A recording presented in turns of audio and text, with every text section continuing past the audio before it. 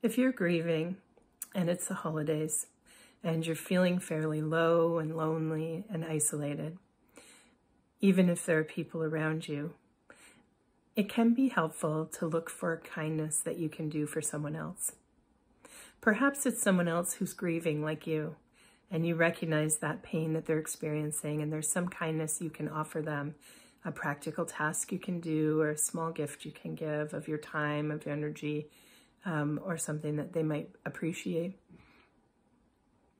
If you are able to do that kindness for someone, it will lift them up at a time when they're experiencing some pain and difficulty, and it will also lift you up from your grief, even if it's only temporarily. That can be helpful in terms of helping you find your way through these days.